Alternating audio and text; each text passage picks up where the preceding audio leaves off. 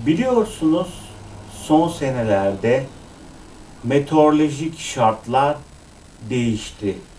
Yani hava durumu değişti. Ama bize göre değişti. Yani bizim yaşımızdaki, bizim neslimizdeki insanlara göre değişti. İşte çok yağmur yağıyor, seller oluyor. Hava ısındı. Aralık geçiyor, hala bahar yaşıyoruz. Mesela 80 yaşındaki, 90 yaşındaki bir kişi diyor ki ben hayatımda böyle bir şey görmedim. Hiç Aralık ayının ortasında bahar mı olur? Tamam, onun dediği doğru. Ama bir insanın hayatı dünyanın meteorolojik tarihinde çok kısa bir zaman dilimidir. Yani aynı şahıs bin yaşında olsaydı belki diyecekti ki aa 500 sene önce yine böyle Aralık ayında biz sıcak yaşamıştık. Meteorolojik veriler uzun zamandır tutulmuyor. Daha meteorolojik verilerinin tutulmasının tarihi yeni. Dünyanın meteorolojik tarihi hakkında yeterli bilgiye sahip değiliz.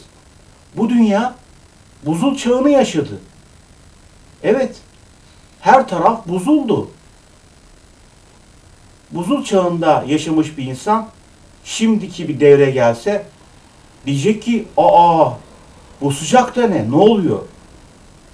Bazı insanlar bu hava şartlarındaki değişimleri işte kıyamet alameti, kıyamet kopacak, ne bileyim 2012'de kıyamet geliyor. Yani kıyameti yalnız ve yalnız Allah bilir. Allah'tan başka kimse bilemez. Ama bakıyoruz Müslümanların sayısı çok.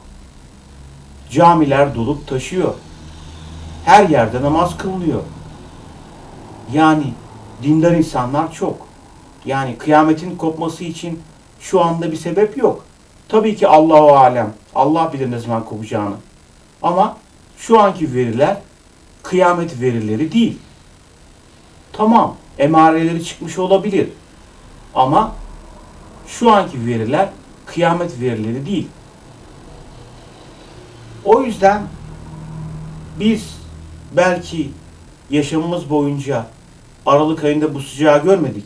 Ama bu demek değildir ki dünya tarihinde böyle sıcaklar yaşanmadı Aralık ayında. Belki geçmişte bir gün Ocak ayında, Şubat ayında belki insanlar denize giriyordu. Bu bizim coğrafyada yani, bizim enlemlerde. Bunu bilemeyiz.